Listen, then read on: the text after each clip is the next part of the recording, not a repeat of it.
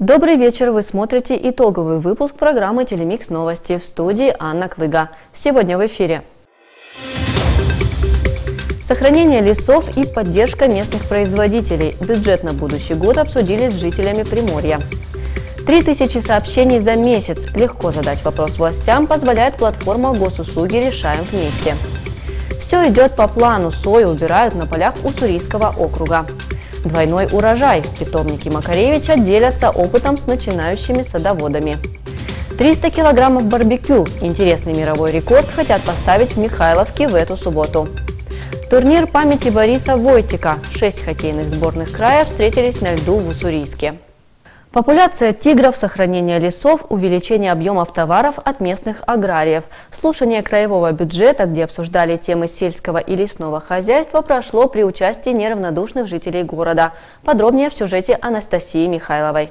Уже третью тему народного бюджета обсудили с жителями Приморского края. Неравнодушные уссурийцы собрались вместе в администрации округа, чтобы участвовать в разговоре онлайн. На повестке дня два важных вопроса для региона – сельское и лесное хозяйство. Бюджет будет сверстан с учетом ваших предложений и замечаний и будет внесен в законодательное собрание 1 ноября. Во время обсуждения не раз говорили о популяции амурского тигра, дальневосточного леопарда, о сохранении кедрового и широколистного леса, а еще липы, основного приморского медоноса, который дает возможность работать пасечникам. Задача сохранения лесов, задача сохранения кормовой базы, вот, а, а также рациональное изъятие этих а, лесов направленная на лесопереработку, это такая а, сложная а, и такая многовекторная проблема, которую нам необходимо решить. Нарастить объемы производства и обеспечить жителей качественной продукцией местных производителей. Вот к чему нужно стремиться, отметил глава региона. В том числе необходимо увеличить выработку мяса, молока, масла, сыра, высадку картофеля и сои. Мы вышли на производство свинины, мы вышли на производство мяса птицы, пока 13 тысяч тонн, но, э, скажем, есть перспективы к увеличению. Это важные задачи, которые позволяют обеспечить э, сбалансированное, э, скажем, потребление населения, продукции собственного производства, решая в том числе задачи, которые мы поставили перед собой по созданию собственной сети таких товаропроизводителей во всех территориях Приморского края. Из Уссурийска прозвучал вопрос от компании «Прим Агро». Представители предприятия беспокоят увеличение пошлин на экспорт сои и кукурузы. Стало труднее реализовать продукцию. Подскажите, пожалуйста, планируется ли предусмотреть в следующем году какие-либо э, новые э, поддержки для производителей сои и кукурузы на экспорт? От пошлины мы в будущем году не уйдем однозначно. Но что сделало государство? Они часть средств, которые получают по пошлине, они определили, что будет а, распределять регионам для а, прироста объемов, объемов производства зерновой группы. И уже в этом году мы в конце года доведем до сельхозтоваропроизводителей 87 миллионов федеральных средств вот по этому направлению. В слушаниях приняли участие более 500 человек со всего Приморья. Напомним, в Уссурийске обсуждение проекта краевого бюджета проходит ежедневно с 15 до 19 часов в зале администрации округа. Задать свой вопрос представителям власти можно как очно по видеосвязи, так и в официальном паблике в Инстаграм. Анастасия Михайлова, Роман Адонин, Телемикс.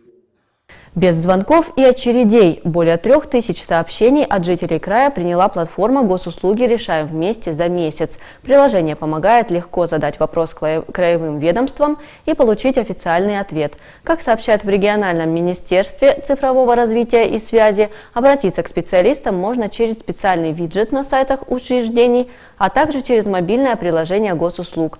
Больше всего людей волнуют вопросы о вакцинации от COVID-19, ремонте дорог, благоустройстве устройстве дворов, социальных выплатах на детей от 3 до 7 лет. Срок рассмотрения заявки обычно занимает от 10 до 30 дней, но есть категории сообщений, по которым даются ускоренные ответы. Сою молотят в Уссурийском округе. Местные аграрии с опаской ждали начала уборочной кампании. Жаркое лето грозило испортить сельхозпроизводителям все планы. Мы отправились в поля и узнали, оправдались ли прогнозы. Комбайны Примагра заняты делом – молотят сою. Собирать урожай в этом году – сплошное удовольствие, говорят механизаторы. Лето было жарким, дожди редкими, поэтому поля сухие. Техника не буксует и легко справляется с задачей. Бобы тоже получились как надо, проблем с высокой влажностью нет. В этом году уборка происходит лучше, чем в том году было. И урожай лучше, чем в том году. Но, ну, как бы соя дала в этом году урожайность и сыпет неплохо. Но. Агрономы отметили еще один плюс засухи. Соя этого года получилась с высоким содержанием протеина, основного показателя, за который идет финансовая надбавка. Такой продукт на рынке стоит дороже. Но есть и минусы жаркой погоды. Из-за сухого лета растения выросли меньше, чем обычно. При таких условиях комбайнам приходится достаточно низко опускать жатку, для того, чтобы полностью э, смолотить растение. Но при этом это влечет за собой технические поломки. Дело в том, что на жатке есть ножи, которые, упираясь в землю, где-то камни попадаются, они могут разлетаться. Технику приходится чаще ремонтировать, но даже учитывая эти трудности, сельхозпроизводители придерживаются плана. Треть от всей площади своих полей компания уже убрала. В общем, по Уссурийскому округу показатель чуть ниже. По округу убрано более 4000 гектар, что составляет 23% от плана. Э, урожайность в среднем по округу 18 центнеров с гектара. Хороший показатель. Закончить сотрудники компании «Примагра» планируют до конца месяца и очень надеются, что погода не подведет. В идеале успеть убрать сою до первого снега. Потом весь урожай выставят на продажу. Часть закупит уссурийский МЖК, но основной объем уедет в Китай, Корею и Японию. Новости продолжит наша постоянная рубрика «Коммунальный ликбез». Напомню, это цикл интервью по вопросам жилищно-коммунального хозяйства. На этот раз поговорим о преимуществах всепогодной станции регулирования тепла.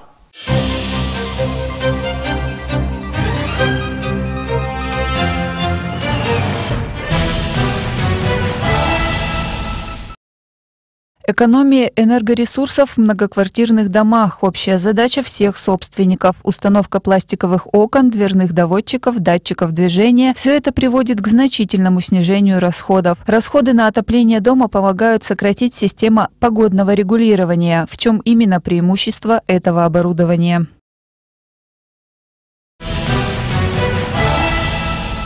Все, кажется, в руках самих собственников. Раз вот представьте, не по нормативу, платят уже 10 лет. Еще в 2012 году должно все это было стоять было 261 постановление об энергосбережении, энергоэффективности. Но оно как-то так тихо сошло на нет. И люди, которые вот э, берут пример с нас, кто-то где-то, я там тоже с кого-то взял дешевле. И слово Ленина 87, говорит, о, мы 800 тысяч сэкономили, поставили. Жалковский вот докладывает мне. Насколько мне, о, говорит, Кузьмич Васильев, говорит, в том году, говорит, мы поставили за этот сезон. Вот каждый месяц он мне звонит, сегодня на 400 рублей я меньше заплатил. Кроме этого, вот эти станции, это 30% у нас жилья э, не имеет приборов учета. 85%. Они не экономят, они только фактическое показывают. А экономят именно вот эта всепогодная станция. А у нас 85%, не только у нас в Уссурийске, в целом по стране, не имеют этих всепогодных станций которые непосредственно от экономии. Практически программа вот эта по энергосбережению не выполнена.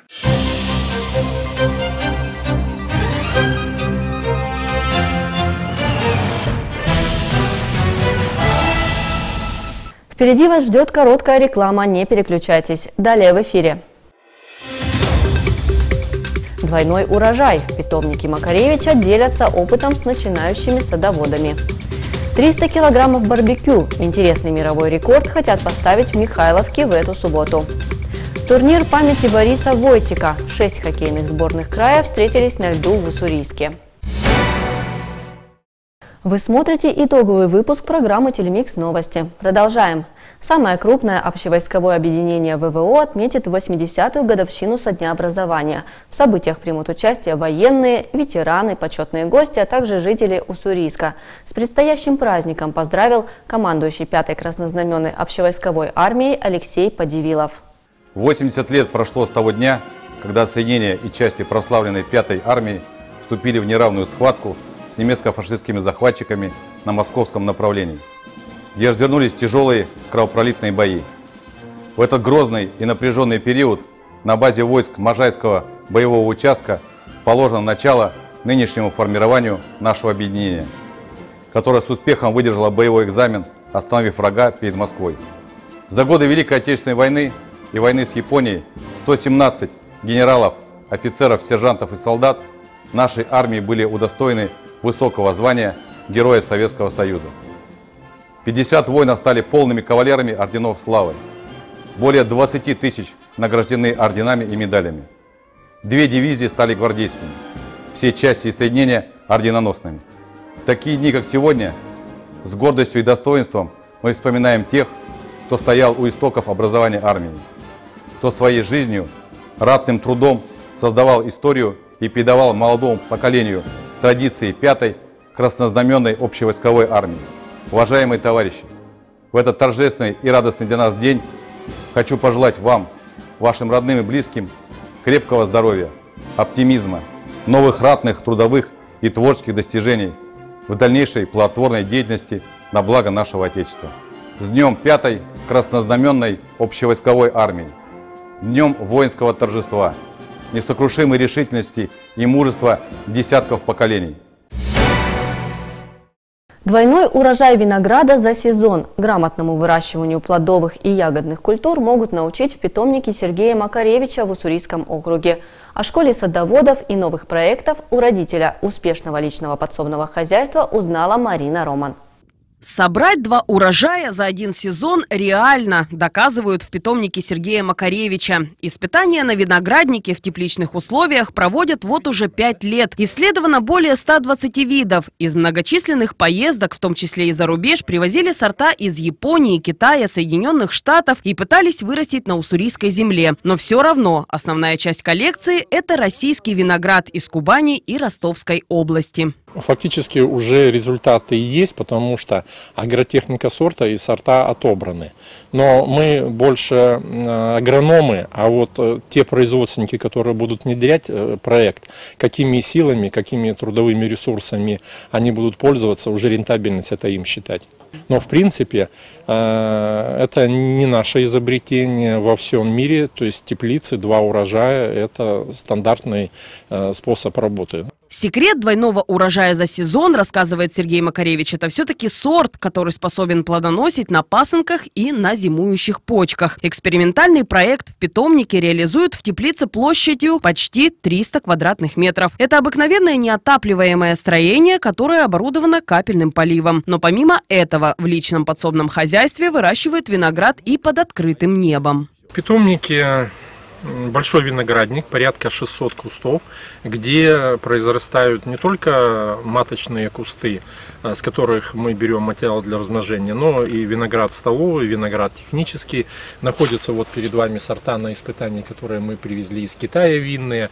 Различные формировки применяются. Почему? Потому что я же уже говорил, что питомник это учебно-образовательная площадка, где приезжают садоводы и учатся элементам агротехники. Силами руководителя и сотрудников питомника Макаревича для школы создалось целое направление. Издание справочника и форума садоводов. Во Владивостоке появился краевой клуб виноградарей. Проводятся ежегодные экспедиции по Дальнему Востоку. Уже три года здесь обучают грамотному выращиванию плодовых и ягодных культур.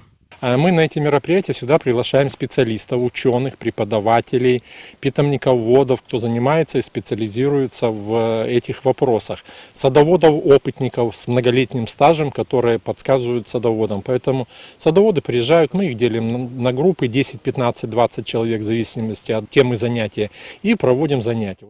С весны и до середины осени проводят практические семинары. В общей сложности 12 занятий. Очередное состоится 23 октября и завершится доводческий сезон. Ведущие сотрудники питомника покажут мастер-класс по обрезке винограда. Записалось на встречу уже более 80 человек, но двери открыты для всех желающих. Марина Роман, Роман Адонин. Телемикс. Мировой рекорд по приготовлению самой большой порции барбекю планирует установить группа компаний «Русагра». Это произойдет на центральной площади Михайловки в субботу 16 октября. Приурочили событие ко Дню работника сельского хозяйства. Подготовка начнется в 12.00.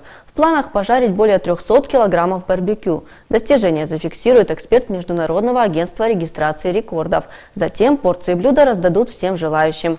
Гостей также ждут выступления местных коллективов и популярных приморских групп, творческие мастер-классы, спортивные активности, фейерверк и многое другое. Кроме того, на площади будет работать специальный шатер, в котором пройдет ярмарка вакансий Русагро Приморья.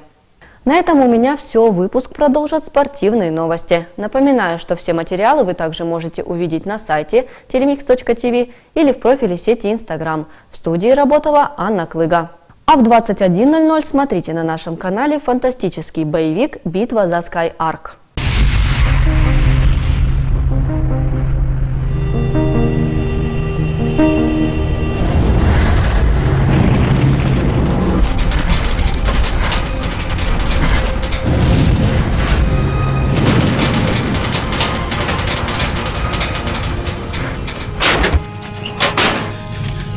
Давай!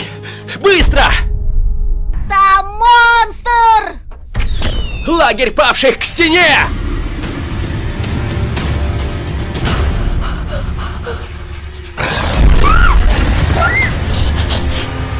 Не двигайся. Нет! Спастись можно лишь в городе на небе. Фантастический боевик «Битва за Sky Ark». Смотрите 14 октября в 21.00 на канале Телемикс.